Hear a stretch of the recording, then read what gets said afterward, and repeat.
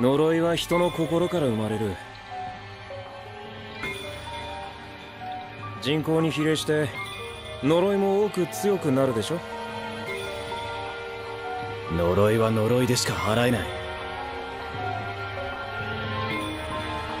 覚悟はできた。ってことでいいのかな？大丈夫。僕最強だから俺は不平等に人を助ける。私が私であるためだもの。生き様で後悔はしたくない。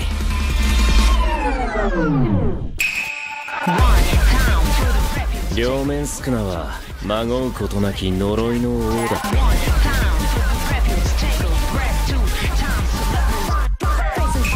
ま好きな地獄を選んでよ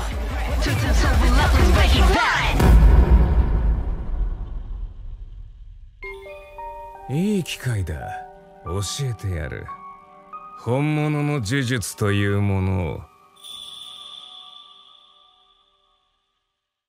呪術廻戦。10月放送開始。